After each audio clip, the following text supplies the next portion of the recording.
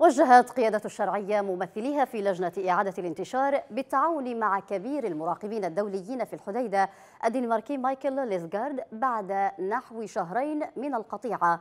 وقال نائب الرئيس علي محسن صالح إن الرئيس هادي وجه ممثلي الحكومة بالعمل على إنجاح مهام رئيس لجنة تنسيق إعادة الانتشار بما يضمن تصحيح أي اختلالات وتصويبها وتنفيذ اتفاق الحديدة. يأتي ذلك بعد جمود شهدته العلاقة بين الشرعية والمبعوث الأممي مارتن جريفيث الذي اتهمته الحكومة رسميا بعدم الالتزام بتنفيذ اتفاق الحديدة بشكل صحيح واتباع سياسة تطيل من أمد الحرب ومعاناة الشعب وبسبب تعاطيه مع خطوات الحوثيين الأحادية. نناقش هذا الخبر في محورين. فرص النجاح الممكنة في هذه العودة للمسار السياسي وهل ثمة ضغوط فعلا جعلت الحكومة توافق على التعامل مع جريفيث بعد اتهامه بالانحياز مع الانقلابيين؟ نبدأ النقاش ولكن بعد هذا التقرير. بعد شهرين تقريبا من تعليق الفريق الحكومي عمله في لجنة مراقبة تنفيذ عملية إعادة الانتشار في الحديدة. احتجاجا على عدم إشراكه في التحقق من صدقية انسحاب ميليشيا الحوثي من مينائي الصليف ورأس عيسى. يتهيأ الفريق الحكومي مجددا لاستئناف دوره مع الجنرال لوليس جارد. يأتي ذلك بعد جمود شهدته العلاقة بين الشرعية والمبعوث الأممي مارتن جريفيث الذي اتهمته الحكومة رسميا بعدم الالتزام بتنفيذ اتفاق الحديدة بشكل صحيح. واتباع سياسة تطيل من أمد الحرب ومعاناة الشعب اليمني وبسبب تعاطيه مع خطوات الحوثيين الأحادية. وجه الرئيس هادي أعضاء الفريق الحكومي بالتعاون مع الجنرال لوليس جارد لتحريك ملف الحديدة بعد توفر ضمانات من الأمم المتحدة بما يضمن تصحيح أي اختلالات وتصويبها وتنفيذ اتفاق الحديدة. من جهته طلب جريفيث من الحكومة تقديم تصور جديد لآلية إعادة الانتشار لدراستها وإجراء مشاورات بشأنها وذلك خلال لقاء نائب الرئيس الفريق علي محسن في الرياض.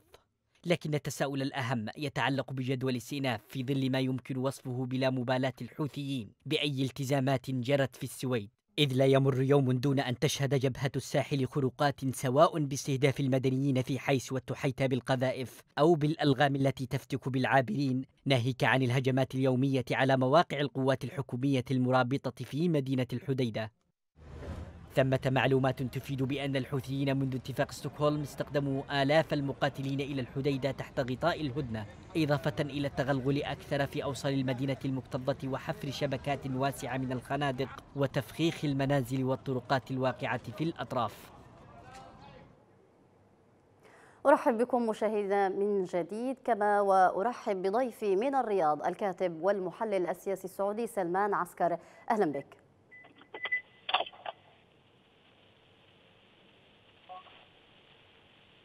سيد عسكر هل تسمعني؟ أسمعك أهلا وسهلا حياك الله. أهلا بك. برأيك ما فرص نجاح عملية إعادة الانتشار بالحديدة هذه المرة بعد إعلان الحكومة تلقيها ضمانات الأممية للتصحيح الاختلالات التي تتعلق بالاتفاق اتفاق الحديدة؟ أولا في البداية أشكرك وأشكر ضيوفك والمشاهدين. ما يحدث الآن في الحديدة سواء إعادة انتشار من عدمه هو أمر يبقى رهن العبث الحوثي. أي بمعنى أن هذا ما يحدث الآن هو مجرد الاعيب حوثية مثل ما سبق خلال الفترات السابقة، لا أعتقد بأن هناك أي آمال في الالتزام باتفاق السويد، سيستمر الحوثيين في نفس النهج وستدعمهم المتحدة الأمم المتحدة من خلفهم، ستبقى الأمور متأزمة، سنبقى ما بين فط ورب بعد وقرب وعود كاذبة التزامات فاشلة آه، نعم. ليس هناك تقيد بما صدر عن الأمم المتحدة من فترة سابقة آه، ما يمارسه الحوثيين الآن هي اللعب على الأوتار من أجل إضاعة الوقت واستغلال الفرصة لتقوية صفوفهم نعم. لإعادة آه، بنيتهم التحتية ليس هناك أي بوادر عمل أنا أريد أن أتكلم بلغة الأرقام سيدتي، الكلام الإنشائي والكلام العشوائي مرفوض سواء من هنا أو من هناك، نريد أن نتكلم بلغة الأرقام، هناك اتفاقية في السويد جرت ببند من ضمن هذا البند أن أن يتم التسليم خلال شهر من تاريخ توقيع الاتفاقية في السويد، الآن كم مر يا سيدتي؟ سبعة أشهر، ماذا حدث؟ توقع الحوثي، زراعه الغام، تهديد ملاحة بحرية، يعني كل المعوقات يزرعها الحوثيين حتى هذه اللحظة. نعم. آه، سيد سلمان آه، آه، أنت ذكرت أن الميليشيا لا يمكن أن تلتزم بأي اتفاقات. كما صرح مستشار الرئيس ياسين مكاوي قال أنه ربما يعني هذه الميليشيا لا يمكن أن تلتزم بأي اتفاقات ولا يمكن العمل معها. يعني ما موقف التحالف الآن؟ أين وضع التحالف؟ التحالف مستمر في يعني التحالف عندما نقول التحالف فنحن نتكلم عن آه، مجموعة آه، تخضع لقوانين دولية وتحترم الأعراف والتقاليد وفي المقابل نحن نتكلم عن عصابات هنا فرق عندما تقول الأمم المتحدة ويكون هناك قرار لمجلس الأمن ثم تلتزم به قوات التحالف العربي وفي المقابل لا تلتزم الأطراف أو العصابات الإرهابية الحوثية.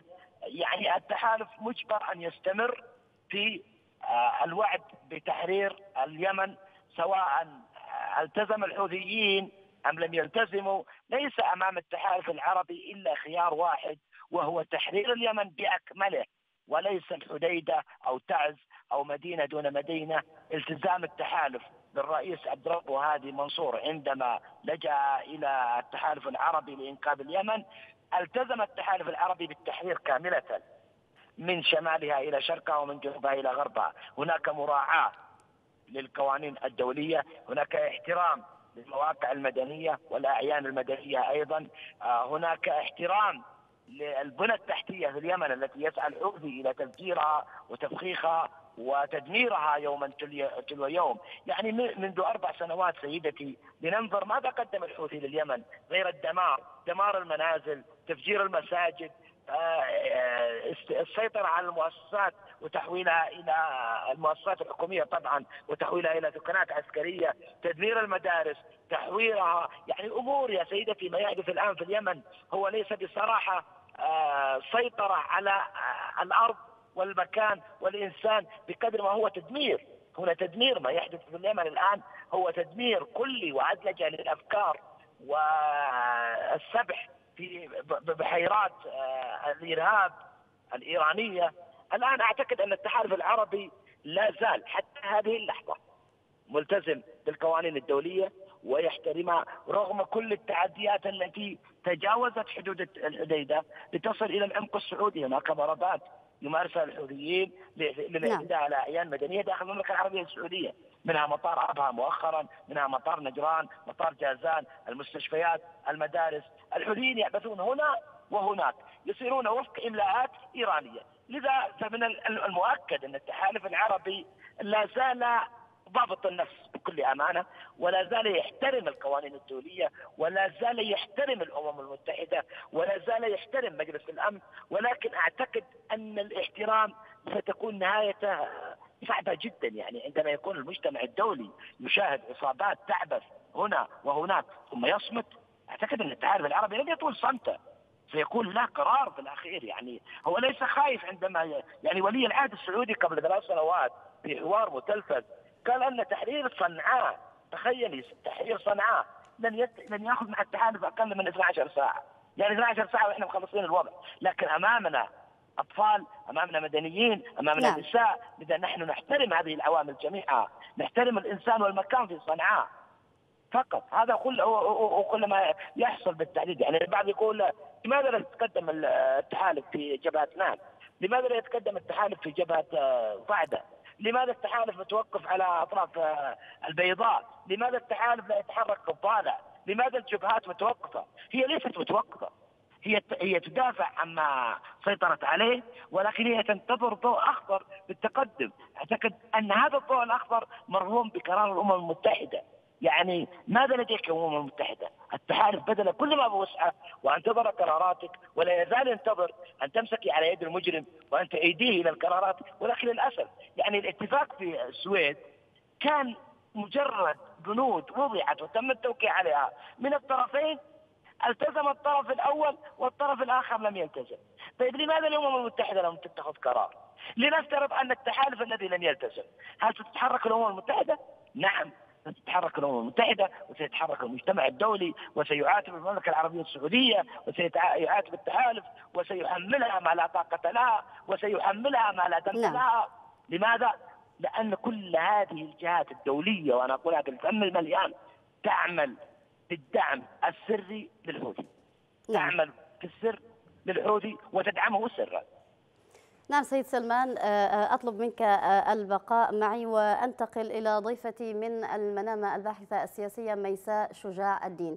سيدة ميساء كيف تتابعين مستجدات العلاقة بين القيادة الشرعية وبين مارتن غريفيث بعد أن كانوا قد الحكومة اتهمته بالتماهي مع الحوثيين؟ بالتأكيد أنه الأمم المتحدة وضحت للحكومة أنه مش بالإمكان أنه تغيير المبعوث الأممي كما تشاء. من الصعب إنهم يقدموا الوظيفه مرة أخرى لشخص مبعوث جديد. آه الحكومة كثير من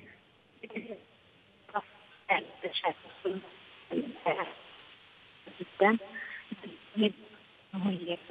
هي مهمته أعتقد كمان مارتن جريفيث لم يأخذ وقته يعني ممكن العالم يشوف إنه لم يكمل لم يتم عام نعم. حتى يمكن إنهاء مهمته بهذه السرعة فهذه عملية شوية بتعطي انطباع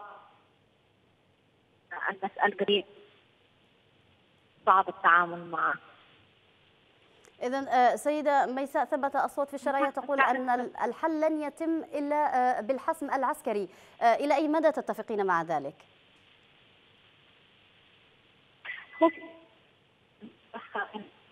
السعودية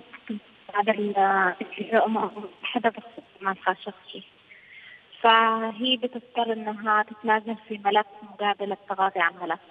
بخصوص الحكومة الحكومة بإمكانها أن تقول ما تشاء. آه، في النهاية هي لا تمتلك القرار. طيب سيدة آه، ميساء هناك خلل آه، في الصوت. أعتذر منك. سنحاول وسنعاود الاتصال بك. أعود إلى ضيفي من الرياض سلمان عسكر. سيد سلمان يعني ما من يوم إلا وتهاجم الميليشيا آه، المدنيين وتقتل آه، آه، الأبرياء. برأيك ما الذي يجعل التحالف يصمت منذ ديسمبر الماضي بينما يمكنه الحسم عسكريا لأنه يمتلك قوة عسكرية على الأرض؟ سيدتي يعني أنا لا أعرف يعني كيف يتدخل التحالف ينقذ هؤلاء الأبرياء؟ اليوم التحالف هو يريد أن ينقذ دولة في أكملها نساء وأطفال ورجال ومكان ومؤسسات حكومية واغتصبت من هذه العصابات الحوثية. أنا من اللحظات الأولى التي لمست فيها آه، المشاورات الأولى في جنيف واحد ثم تلتها جنيف آه، تو لم أكن متفائل. يعني هناك أكثر من أربع لقاءات أو مشاورات، جنيف واحد، جنيف اثنين، الكويت، السويد. أريد أن أسأل الأمم المتحدة ماذا تمخض من هذه الاجتماعات؟ وماذا تحقق من هذه اللقاءات؟ الطرفان يوقعان. تلتزم الشرعية والتحالف ويخذل أو يكذب ويخلف الحوثيين لذا أعتقد بأن الأمم المتحدة ليس الخلل في تغيير مبعوثها. الخلل نعم. في نفس اجراءاتها وقراراتها هي لا تستطيع أن تفي بأي قرار. الأمم المتحدة وأنا أعلنها بالفم المليان جبانه أمام الحوثيين. وهي لا تستطيع أن تحرك ساكن أو أن تغضب الحوثيين. إذا كانت الأمم المتحدة عبر مبعوثيها السابقين جمال بن عمر وإسماعيل ولد الشيخ وحاليا جريمه تحاول أن تهدي الحوثيين وتحضر اجتماعاتهم ولقاءاتهم في صنعاء وتتودد إليهم وتستمع إليهم بينما لم تستمع إلى التحالف العربي ولم تستمع إلى الشرعيه ولم تنظر الوقائع والأدلة التي تدين الحوثيين يا سيدتي قبل أربعة أيام كان هناك تدمير ثلاثة منازل في تعز بمن فيها ثلاثة منازل بمن فيها أطفال ونساء وشيوخ أين الأمم المتحدة؟ أين الأمم المتحدة عما يحدث؟ دعينا من يعني فضلا عن تفجير نعم. عن عن إذا ما تم يعني آه، آه، إذا ما تم اعتبار دعوة آه، الحكومة للطرف الحكومي للعودة إلى العمل مع الفريق الأممي هل يمكن أن نعتبرها فرصة أخيرة أتيحت للمبعوث الأممي لمواصلة عمله وترك أو تحسين الصورة التي عكسها عن نفسه فيما سبق؟ صحيح. يعني معلش دعينا نتكلم بوضوح. كم مرة أو كم فرصة منحت للأمم المتحدة. ماذا قدمت الأمم المتحدة؟ مثل الأمم المتحدة. من صنعاء إلى سلطنة عمان. طبعا يلتقي سلطنة عمان بعض القيادات الحوثية لأن أغلب القيادات الحوثية حاليا تتواجد في سلطنة عمان. تلك الدولة المحايدة تلك الدولة البريئة مما يحدث. القيادات الحوثية متواجدة على أرض سلطنة عمان ثم إلى الرياض. ثم إلى هنا وإلى هناك ماذا قدمت الأمم المتحدة؟ اليمن يحترق العصابات الحوثية نهبت الأخضر واليابس وقتلت الأطفال وجندتهم في الجبهات، حولت أطفال اليمن الأبرياء إلى وقود حرب من أجل إقناع نعم. إيران، حولت الأرض اليمنية إلى أرض رماد مزروعة بالألغام يا سيدتي، البحار الآن ملغمه والتراب ملغم والجبال ملغمه، أي حياة ننتظرها في اليمن. إعمار اليمن الذي نعم. المملكة العربية السعودية وصلت آه وصلت آه الفكرة آه المحلل السياسي السعودي سلمان عسكر. كنت معي من الرياض. شكرا لك. وبالعودة إلى ضيفتي من المنام ميساء شجاع الدين. أهلا بك سيدة ميساء. يعني ما ما تقييمك آه، آه، للأداء الأممي في الأزمة اليمنية خصوصا فيما يتعلق بملف الحديدة؟ الملف الأمم المتحدة بتحاول تحقق أي نجاح اختراق يعني في هذا الملف. لكن أتصور الاتفاقات الجزئية لن تنجح. لأن الحوثيين ميالين لفكرة اتفاق شامل. هذا الاتفاق الشامل يقدم لهم ضمانات مع السعودية. آه نعم. لكنهم يخشون من أنهم يسيروا في نفس مسار آه إسماعيل ولد الشيخ. ويعرض لهم تعنت الحوثيين في مسألة الترتيبات الأمنية والعسكرية فبالتالي تنتهي المفاوضات تماما. فهم محتاجين لأي اختراق يضاف لهم أو يقدم لهم أنهم ناجحين فعلا أو نجحوا في فعل شيء هذا الملف. خصوصا أنه مسألة الحديدة أو اجتياحها مسألة مش مرغوبة دوليا إقليميا نعم. آه، دوليا عفوا لأنه الرغبه في إنه يظل التحالف منهك في هذه الحرب الجزئيه أيضا تداعيات الكارثة الإنسانية المحتمله وتداعياتها على الإعلام الغربي والضغط على الحكومات الغربية مثل ما تعرفي الآن حتى بريطانيا اضطرت إنها الآن وضع وقعت في مأزق الحكومة البريطانية بعد قرار المحكمة بمنع الأسلحة لليمن، منع بيع الأسلحة لليمن. نعم. فبالتالي الحكومات هذه لا تستطيع العمل كذا هكذا من غير النظر بعين الاعتبار لهذه الاعتبارات الإنسانية يعني. نعم سيدة ميساء برأيك يعني آه، على ماذا تراهن ميليشيا؟ الحوثي في تعاطيها آه، باللامبالاة إن صح آه، التعبير مع حلول السلام في الحديدة؟ نتراهن على طول يعني على البال الطويل. لأنها في النهاية لا تخسر شيء. هي ميليشيا لا تمتلك شيء حتى تخسره. على المستوى الدولي لا لا توجد أي أدوات ضغط عليها. في الآخر العالم مضطر أنه يتعامل معها لأنه في ملايين البشر تحت فهؤلاء الملايين يعانون من وضع إنساني مع من وضع إنساني متدهور، هذا كل ما في الأمر، هم في النهاية لا يعنيهم هذا التدهور الأوضاع الإنسانية. آه، بالنسبة لهم الحرب هذا أمر عادي يعني طبيعي، هم في الاخير جماعة نشأت من حرب أصلا. نعم. آه، فبالتالي هم لا يراهنون أكثر من على طولة البال لأنهم يدركوا إن طولة البال هذه حترهق التحالف ولن ترهقهم، سترهق إمكانيات التحالف الاقتصاديه ستسيء لسمعة دول التحالف ولكنها لا شيء يرهقهم هم على المدى البعيد. نعم. آه، سيدة ميساء آه، ابقي معي وأنتقل إلى ضيفي من إسطنبول الباحث السياسي نبيل البكيري. مرحبا بك. أهلا وسهلا. مرحبا بكم. يعني الآن بعد تأكيد الحكومة على استئناف العمل مع آه، آه، لوليسجار في الحديدة آه، هل نفهم من ذلك يعني إلغاء عملية الانسحاب الأحادية التي كانت أصلا سببا في تعليق العمل من قبل الطرف الحكومي؟ استئناف الحكومة للعمل مع لوليسجار أنا اعتقادي استكرار وتكريس لصورة الفشل السياسي الذي جلبته الشرعية على نفسها بالذهاب إلى ستوكهولم بداية والتوقيع على تلك الاتفاقيات التي لم ينفذ منها شيء بل نفذ آه، وفقا للأجنبات التي لدى الميليشيات الحوثي. وبالتالي نحن أمام استمرار لمسلسل فشل سياسي الحكومة الشرعية وخاصة أن كل المؤشرات لا تدل على أن هذه آه، الاتفاقية ليست في صالح الحكومة الشرعية وليست في صالح السلام أساسا. وبالتالي استمرار نفس المأزق وتكرار نفس الأخطاء في دلالة على وجود فشل كبير ومريع واستراتيجي تتخبط وسطه الحكومة الشرعية. نعم آه، هناك أصوات من داخل الشرعية تقول بأن آه، الحكومة تلقت ضغوط ومرست عليها ضغوط لتقديم الكثير من التنازلات خصوصا فيما يتعلق بملف آه، الحديدة برأيك يعني ما هي هذه الضغوط التي مرست على الحكومة؟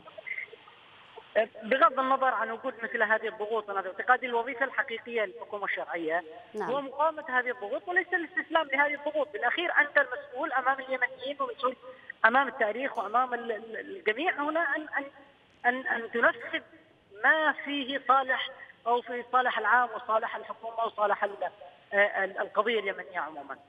وصالح نعم. معركة اليمنيين ليس من واجب الحكومة الشرعية أن تذهب وتخضع لمثل هذه الضغوطات وأن تفشل وتعلل هذا الفشل بوجود ضغوطات دولية، أنا باعتقادي هذا نوع من العبث الذي سارت عليه الحكومة الشرعية لغياب الرؤية والاستراتيجيه وغياب المسؤولية في درجة رئيسية في التعاطي مع كل القضايا التي رأيناها طوال العمر. نعم آه، آه، سيد آه، نبيل كان معي منذ دقائق في الحلقة ضيفي سلمان عسكر. قال بأن التحالف يعني لم يقم بأي تحركات عسكرية جادة على الأرض لأنه يحترم المواثيق الأممية ويحترم المعاهدات التي تم الاتفاق عليها. برأيك ألا يعكس هذا ضعف في الأداء سواء على الأرض العسكري بالنسبة للتحالف وضعف الحكومة سياسياً؟ نحن نعرف أن هناك أجندات مختلفة تماما للتحالف، أجندات ظهرت وكرست واقع غير الواقع الذي المعلن منه وشعارات مرفوعة وبالتالي أن تنتظر من التحالف أن يقوم بأداء آه، آه، بديلا عنك الحكومة اليمنية، أنا باعتقادي هذا هو كما أقول أنا حالة العبث والفوضى التي تعيشها الحكومة الشرعية. آه، نعم. يفترض أن الحكومة الشرعية هي التي تقرر مصير مثل هذه الاتفاقات أو هي التي ولا تملك أو ولا تستقبل كل ما يقال لها من قبل التحالف لأن هناك أخطاء كارثية واستراتيجيه آه، يقودنا إليها التحالف من خلال يعني تقديم كل التنازلات أو فضلا عن ذلك يعني العمل لكل أجندات التحالف بعيدا عن مصلحة اليمنيين وعن مصلحة الحكومة الشرعية اليوم. وبالتالي مثل هذا الإخفاق هو يكرس الفجوة الكبيرة التي آه، ظهرت في مستوى العلاقة القائمة بين الحكومة الشرعية وبين التحالف أو بين اليمنيين عموما كشعب وكطموحات وبين أهداف واجندات التحالف التي كل يوم تتضح من خلال هذا الانبطاح الذي يقدم لجماعة ميليشيويه ويعلل بضغوط المجتمع الدولي على التحالف وعلى الحكومة الشرعيه. نعم آه، آه، إذا آه، سيد نبيل إلى أي مدى يمكن يعني أن نتفائل بهذه العودة يعني هل سيتم الآن تنفيذ اتفاق الحديدة بما يضمن أو حسب المرجعية الثلاث المتفق عليها؟ في هذا السياق أنا باعتقادي لا يوجد تفاؤل على الإطلاق المشهد مسدود الأفق للحديث عن سلام والحديث عن اختراقات في جدار الأزمة وبالتالي استمرار المهزة واستمرار هذا العبث الذي رأيناه خلال ستة أشهر من آه، آه، أكثر من ستة أشهر من توقيع اتفاقيه ستوكهولم التي كرست وعززت واقع عسكري مختلف وواقع عسكري يخدم السلطات الانقلابية في مدينة الحديده ويكرس أو يعمل على آه، مزيد كسب مزيد من الوقت وكسب مزيد من الترتيبات لهذه الجماعة الانقلابية في الحديده وبالتالي نعم. يعقد مسألة أي معركة قادمة معها في هذه المدينة. آه، نبيل البكيري الباحث السياسي. كنت معي من اسطنبول. شكرا جزيلا لك. أعود إلى ضيفتي من المنامة ميساء شجاع الدين. سيدة ميساء يعني برأيك ما الحل آه الذي يمكن آه آه عليه إنهاء وجود هذا الانقلاب؟ خصوصا في ميناء الحديدة. آه، عفوا ما سمعت السؤال. يعني ما الحل الذي يمكن آه، بناء عليه إنهاء وجود الحوثيين في ميناء الحديدة؟ للأسف هو الحل العسكري يبدو أنه هو الحل الوحيد إذا إحنا نتكلم على مسألة حل نهائي. نعم. لكن هل الحل العسكري سيتبع تصرف سياسي سليم أم سيكون نفس المسار السياسي الذي صار بعدن لا يبدو أنه سيكون كذلك. وبالتالي الحوثي أيضا سيكون مستفيد بشكل أو بآخر مما يحدث في الحديدة المشكلة. أنه هنا جدول العمل العسكري ضد الحوثيين تلاشت مع الفشل السياسي الكبير للتحالف الحكومة. فأنا هنا مش شايفة إنه في حلول نهائية لكن في حلول ممكن تخفف أزمات إنسانية هذا كل ما في الأمر لكن حلول تحسم معارك المسألة أنا ما لم أعد متحمسة لفكرة الحسم العسكري. نعم. رغم أن الحوثي عمليا لو تكلمتي على إنهاء وجوده في مكان ما الحوثي صعب إنه يتنازل عسكريا وامنيا إذا لو تعرض لهزيمة عسكرية. حتى الآن هذا حتى الآن التجربة تثبت ذلك. لا أدري إن كان سيحدث تغير. ما في سلوكه. لو أخذ ضمانات من السعودية لو تعرض لضغوط جادة من دول مثل عمان إيران هذا شيء آخر. ما أعرفش. نعم. آه، يعني آه، الآن عودة آه، المسار السياسي إلى إلى الانتعاش من جديد. هل يمكن أن نقول أن هذه بداية تصحيح لمسار العلاقة ما بين الحكومة والأمم المتحدة عبر مبعوثها؟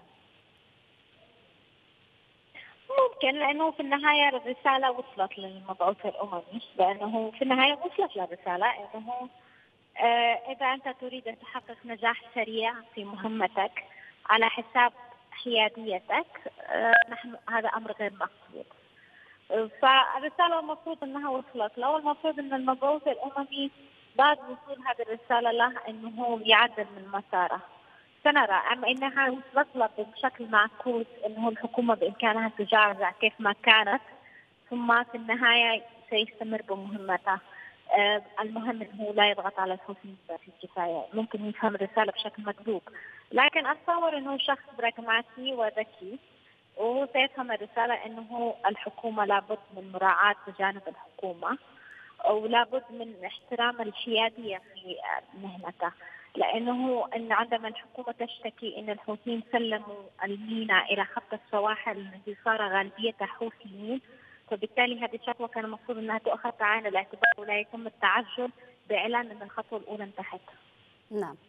سيدة ميساء شجاع الدين كنت معي. الباحثة السياسية من المنامة شكرا جزيلا لك. بهذا مشاهدينا وصلنا إلى ختام حلقتنا لهذا اليوم من زوايا الحدث. تحياتي وتحيات معد هذه الحلقة وديع عطا كما هي لكم من الزملاء في الكنترول إلى اللقاء.